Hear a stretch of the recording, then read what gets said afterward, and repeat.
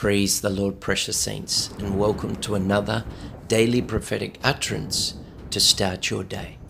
The Lord is saying today, even though the enemy has been coming in like a flood from all directions, my spirit shall raise the standard of deliverance within this hour against the enemy. So my people shall be delivered. The standard was the reminder to Satan that he had lost the battle. It was the cross and the finished work that was done for you that you may live. And so my name shall be feared from the west, and my glory seen from the rising of the sun to the breaking of dawn. I have seen the decay in my house and the diminishing and watering down of my word from the pulpits and I am calling my remnant anointed to rise up their voices once more. Standards have fallen, and the light of the gospel is diminished, allowing darkness the liberty to boldly assert itself within my house. It is not a time to hide from the darkness, but rather expose it and raise the standard. This is a clarion call to every man, as it was in the old ancient times of Israel. Every man was responsible to align not only his military service, but his entire life to the standard of his tribe. But you are a chosen people, a royal priesthood, a holy nation, yes, my special possession, who is calling you out of darkness and into my marvelous light. Have I not promised that, behold, I will lift my hand in an oath to the nations and set up my standard for the people? They shall bring your sons in their arms, and your daughters shall be carried on their shoulders. Yes, I am calling each to raise the standards morally, to raise the standards culturally, to raise the standards scripturally, to raise the standard prayerfully, to raise the standard evangelically to raise the standard prophetically, to raise the standards in praise and worship to me. I am calling you to go through, that's right, to go through the gates, prepare the way for the people, build up, build up the highway, take out the stone, lift up a banner for the people. Yes, set up a banner in the land, blow the trumpet among the nations, prepare the nations against her, call the kingdoms together once again. I am calling you to action today. You need to know that in everything you do for me from this day forward, the standard of commitment and of faith needs to go up. My prophets, I am calling you out of your caves to raise your standard, to lift up your voices and declare the word I have placed upon your lips.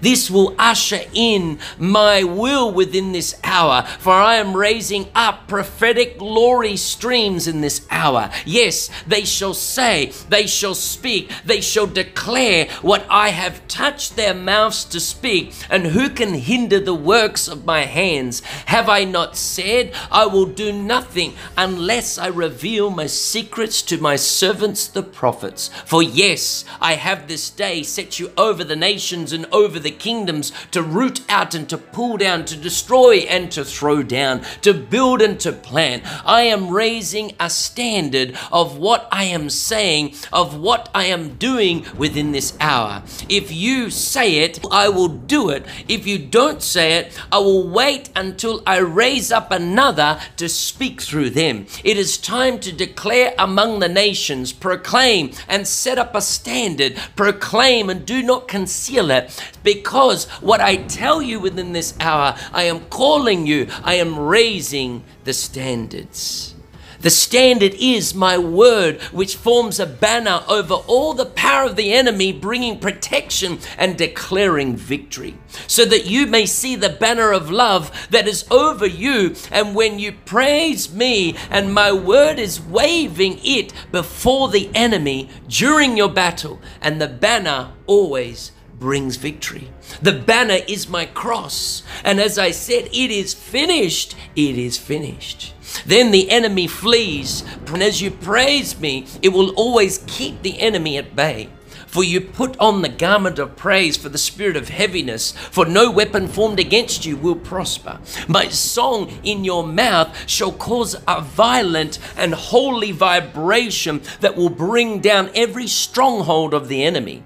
I am the breaker who has gone up before you. I have already made a way where there seems to be no way. When the enemy comes in like a flood, I will raise up my standard against him. He may look like he is winning at times, but my plans for you shall stand. The song you will sing may change from day to day, but my song will never change, for it is new every morning. I am the same yesterday, today, and forever. Every day I sing a song of love over you. I sing a song of deliverance over you. I sing a song of victory over you. Come, my beloved, listen with your hearts. Come into harmony with me, and I will give you a song in your night season. Sing in the spirit with me, beloved. Arise, my love, awaken and sing. I am sending you ahead of my army to clear the atmosphere of all demonic powers. For this is the day which the Lord has given, and the enemy has been given into your hands. Behold, I am your king who goes before you. You need to raise the standard of your worship for me, and then I will raise the standard against the enemy on your behalf. You need to meditate on my word. You need to pray for my will to take charge in your life. Learn to worship me in the midst of storms. Learn to praise me wholeheartedly, even when you get overwhelmed by the trials and tribulations. Do not worry about your problems. Surrender everything to me that your soul may rejoice, that your soul may magnify me daily. As you yield yourself to me fully, I shall raise the standard against your adversaries. As you keep your focus on me, I shall elevate my standard against the devil and his agents. Remember, when the enemy comes in like a flood, when things look tough in your life, my spirit will lift up a standard against him. Be strong and courageous. Nothing shall be impossible for me. My name is your strong tower, and the righteous always run to it. Get ready, prepare, sound the trumpet of Zion. Tell them to raise the standard, sound the alarm. It is time, and do not be afraid of their faces, for I am with you to deliver you from all of your enemies, to those that appear to be for you and are not. I will raise up a standard for you in this next season. Get ready, prepare, go for it, because I am about to deliver you. Do not be afraid of their faces. I have heard your prayers. Shalom. Praise the Lord, precious saints. According to Isaiah 59, verse 19, when the enemy comes in like a flood, the Spirit of God will raise a standard against him. Sometimes living for the Lord is a real battle, and a real battle at that. But the devil can't lay a claw or a fang on you. He can't drown you with his lies if you learn to resist him with the word of God. The Bible is God's standard. Like a banner or flag that you can wave in front of the devil's sharp pointed nose and he will flee. Because when we submit to God and resist the devil, he shall flee from us. He can't take the word. When the devil tempts you, what's the first thing to do? Ask the Lord for a scriptural answer, a rhema word. That's what Jesus did. When the devil tempted him and lied to him, he just quoted the rhema word scriptures that came to him. And of course, the devil also tried quoting scripture to Jesus. But he twisted them and took them out of context. He spoke them in the Logos, but not in the Rhema of revelation. So the Lord just fired back the Rhema word back on him the way they should have been applied. It is written, devil. And the devil fled. He can't resist the word. The best way to stop an attack is to counteract him. The best defense is an offense. Wage a militant war against the enemy. Baptize yourself constantly in prayer and in the Holy Ghost. Soak yourself in the word. Memorize it. Soak yourself in worship and praise him. Put on that garment of praise for the spirit of heaviness. God's promises are yes and amen. Even to the devil, as well as to yourself, you can put the enemy out of action with the word. Bury him and flood him in the truth of God's word.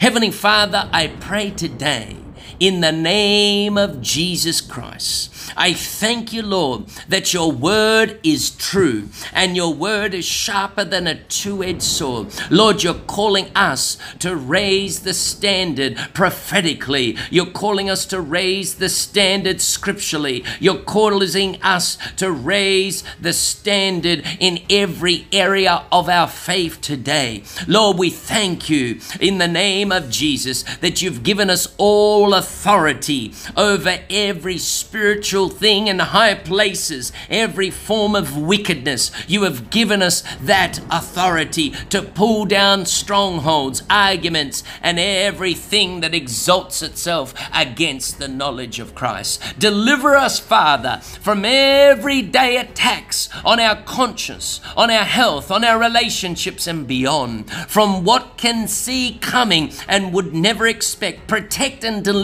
us from anything that threatens to throw us off your course for our lives. Give us strength to love people that are seemingly unlovable without compromising our character as Christians. Build a confidence in us that is unstoppable and immovable, but guard our hearts from pride. Deliver us from our distorted thoughts, our sickness and debt, sadness, struggles, hunger, pain, fear, oppression, conflict, unbelief, and we proclaim your peace over our lives. Through prayer, we thank you, Lord Jesus. We give you all the praise. We thank you in the name of Jesus Christ. We break and loosen each person that is listening right now of all curses caused by habits, charms, hexes, spells, jinxes, psychic powers, sorcery, Maya, witchcraft, love potions, psychic prayers, violence, trauma, physical bondages, mental bondages, incest, Lord, abandonment, rejection, divination in every father, in every mother, Lord, going back to third and fourth generations and beyond, Lord, all the way back to Adam and Eve. We break and loose ourselves and our families of all vows that were made with any person or any occult or psychic source and any demons coming through the bloodlines. We cancel all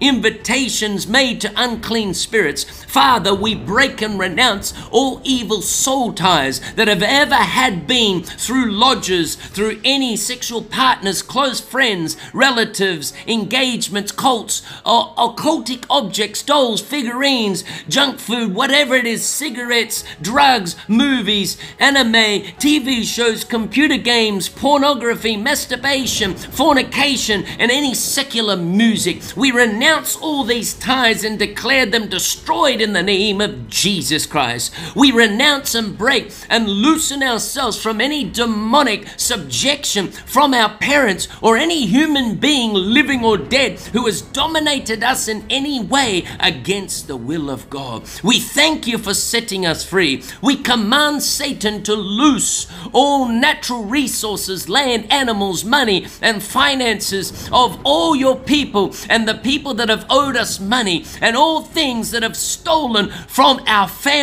and from anyone else in the name of Jesus. Father, Please send your angels to bring these things back to us in the name of Jesus. We thank you that through the blood of Jesus Christ, the standard of the cross, the blood of Jesus, that we are redeemed out of the hand of the devil and all of our sins are forgiven. The blood of Jesus Christ cleanses us from all sin and we are justified and made righteous just as we had never sinned before. We are set apart, Lord, today by you. We are justified and made righteous because of your blood. Lord, we thank you. We belong to you now, Jesus, our body, our soul, and our spirit. And we know that your blood protects us against all evil. Satan, you have no power over us, no more power over the places inside of us. We renounce all evil spirits completely and declare them to be our enemies. For Jesus said, And these signs shall follow them that believe. In my name they shall cast out devils. Lord, we are a believer and we command them in the name of Jesus. We exercise our authority and expel all spirits. We command them to leave according to the word of God. We pray right now, Father, we thank you, Lord, that you would fill us with your Holy Spirit right now from the top of our head to the soles of our feet. Fill us now as we raise up the standard in our word, in our devotion, in our